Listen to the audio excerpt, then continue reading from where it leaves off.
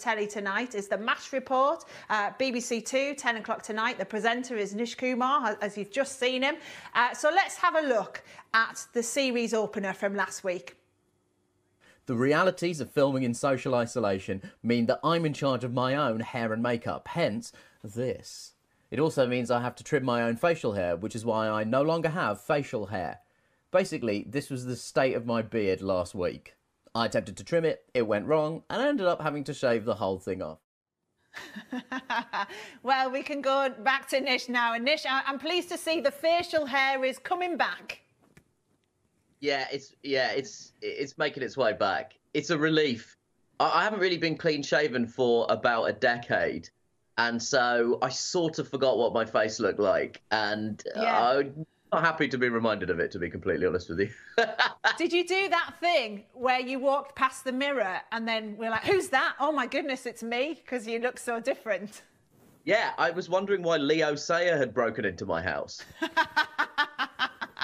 I love it. So, uh, Nish, obviously, like me, you're making the show from home. We're all trying to do things differently. What's that been like doing telly at home? Well, listen, I was a big fan of the film Wayne's World when I was a kid, and I guess this is the closest I'll ever get to being Wayne from Wayne's World. I mean, I'm a little bit concerned of what my neighbours think of me because they saw a, a man cleaning camera equipment outside my house and then I had to sort of bring it in. And I, I think they think that I'm up to something very weird in here, to be honest with you. I know, I know what you mean. Uh, yeah, curious neighbours love to know what's going on, don't they? But um, you know, the Mash report obviously it, it's satire. It, it's taking a funny look at the news. The news at the moment obviously is really depressing. So how do you do that? How do you, you know, make it funny? Has it been harder because we're in this pandemic?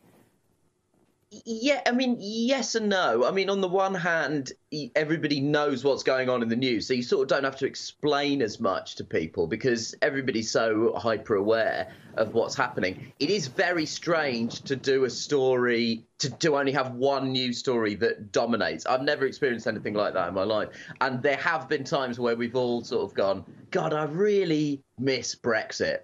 I never thought I'd say that, but I miss it so badly.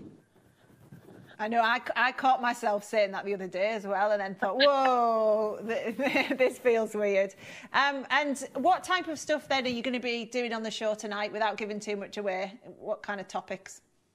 Well, tonight we've got um, tonight Rachel Parris is doing a, a, guide to some of the world leaders, uh, particularly the female world leaders who are actually doing a really good job of handling the crisis and how that contrasts with some of the kind of strongman leaders, people like uh, Jair Bolsonaro in Brazil and Donald Trump, who are not making quite such a, uh, shall we say, successful fist of handling the crisis.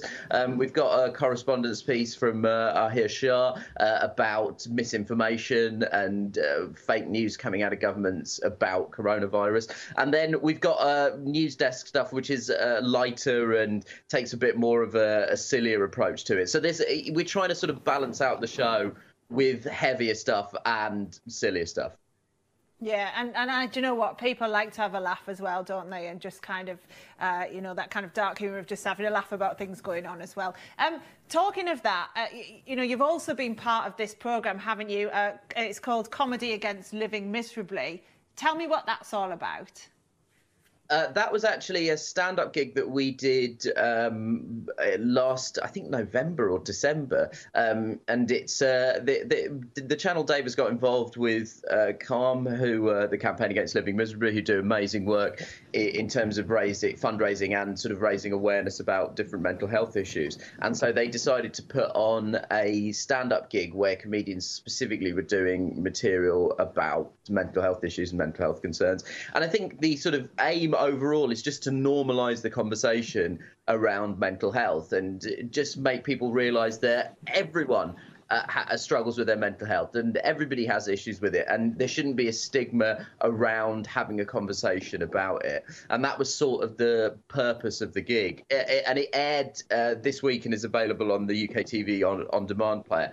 It is pretty weird now to look at people sat that close to each other um, because obviously we yeah. filmed it last November, way before any of this stuff was happening. And uh, you sort yeah. of like, oh, I never, I never thought I'd miss uh, my knees touching a stranger's knees. I know it's so true. The things you miss, it's so surreal. All those things you might have hated in the past, you now miss. Uh, Nish, I know you're going to stay with us, aren't you, and, and review, give us your top tips on some telly programmes that are coming up, because obviously lots of people watching it. Fantastic. And the MASH report, of course, is on BBC Two at uh, 10 o'clock.